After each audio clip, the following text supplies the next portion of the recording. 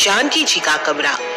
जब जानकी जी अपने कमरे में आती है तो देखती है कि वहाँ यशवर्धन जी, यशराज जी और पायल जी पहले से ही बैठी हुई है। जानकी जी को देखकर पायल जी कहती है, क्या कहा शिवराज ने? क्या वो मान गए दूसरी शादी के लिए? जानकी जी कहती है, शादी को लेकर उनकी कुछ शर्तें हैं, जो अभी तक उन्होंने बताई नहीं है। पायल जी कहती है हमें उनकी सारी शर्तें मंजूर है।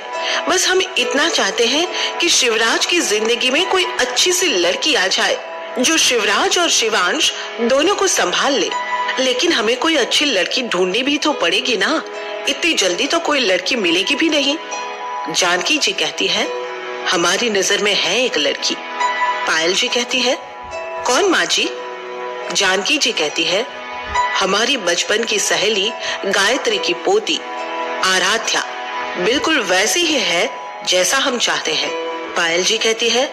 लेकिन माँ जी वह तो जानकी जी कहती है, जानते हैं हम कि आप क्या कहना चाहती है। लेकिन इन सब में उनकी कोई गलती नहीं थी। उन्होंने भी धोखा खाया है। हमारे शिवराज के लिए व...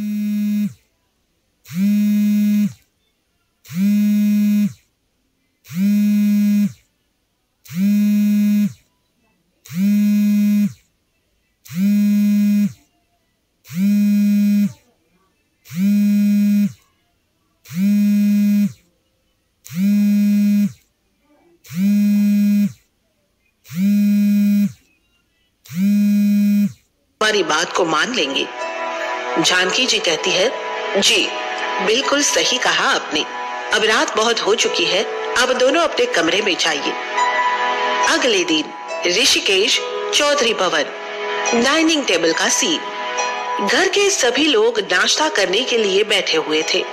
तभी गायत्री जी का फ़ोन बजता है। फ़ोन पर फ्लैश हो रहे नाम को देखकर गायत्री जी के चेहरे पर मुस्कान आ जाती है। गायत्री जी कहती है, हेलो, कैसी हो जानकी? जानकी जी कहती है, हम अच्छे हैं, तुम कैसी हो? गायत्री जी कहती है, हम भी ठीक है, और सुनाओ कैसे याद किया? जानकी जी कहती है, गायत्री, हम तुमसे एक इम्पोर्टेंट बात करना चाहते हैं। शिवराज के बारे में तो तुम जानती ही हो।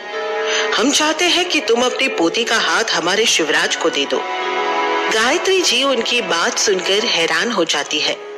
और एक नज़र आराध्या को देखती है, जो नज़रें नीचे किए हुए चुपचाप नाश्ता कर रही थी।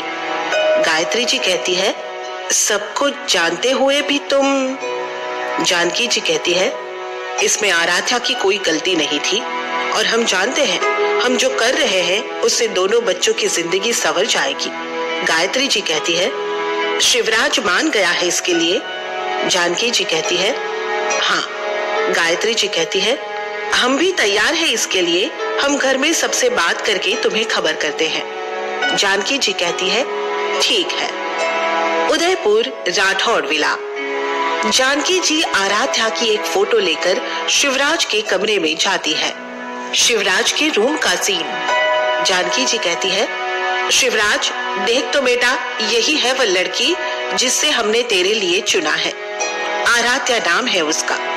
देख तो कितनी सुन, शिवराज धीरे से मगर कड़क आवाज़ में कहता है, हम शादी अपने बच्चे को माँ का प्यार मिल सके, इसलिए कर रहे हैं। खुद के लिए बीवी नहीं चाहिए हमें। इसलिए यह तस्वीर यहाँ से आप ले जा सकती है। और कल हमने कहा था कि शादी के लिए हमारी कुछ शर्तें हैं तो आप हमारी शर्त भी सुनते जाइए। एक, यह शादी सिर्फ़ शिवांश के लिए हो रही है। दूसरी इस घर में शादी करके जो भी लड़की आ रही है, वो हमसे किसी भी तरह की कोई उम्मीद ना रखे।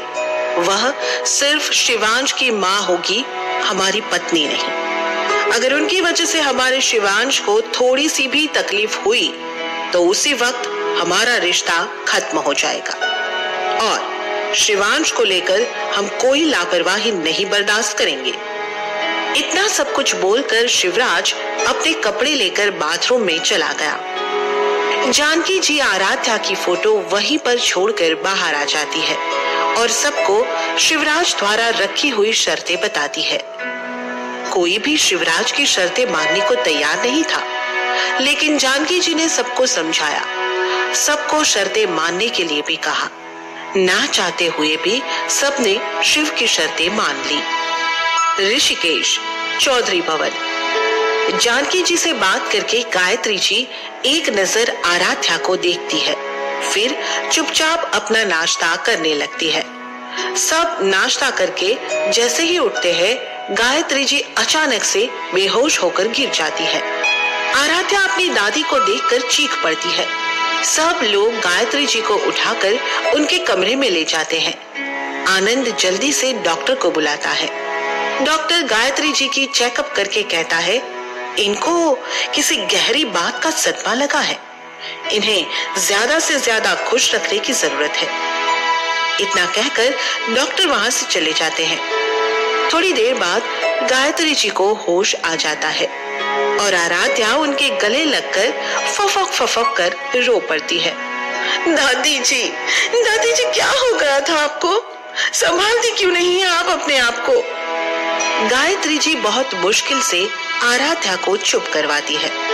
गायत्री जी कहती है, खुड़िया, मेरा एक ही सपना है, तेरा घर बसता हुआ देखने का। प्लीज़ कुड़िया मेरी बात मान और शादी के लिए हाँ कर दे। मरने से पहले मैं तेरी हस्ती, खेलती, गृहस्थी देखना चाहती हूँ। आराध्या कहती है आप जो कहे मुझे मंजूर है दादी माँ, पर प्लीज़ ऐसी बातें मत कीजिए। महेश जी कहते हैं, जब गुड़िया शादी के लिए मान गई है तो उनके लिए लड़के भी तो ढूँढने पड़ेंगे। गायत्री जी कहती है, उसकी कोई ज़रूरत नहीं है। एक लड़का है हमारी नज़र में, जो हमारी गुड़िया को बहुत खुश रखेगा और उस घर में हमारी गुड़िया रानी जैसी रहेगी। विवेक जी कहते हैं, कौन है वो लड़का माँ? गायत्री जी कहती है, हमारी सहेली जानकी का पोता शिवराज। थोड़ी देर बाद जानकी जी के फ़ोन पर गायत्री जी का फ़ोन आता है और वह कहती है कि आराध्या शादी के लिए मान गई है।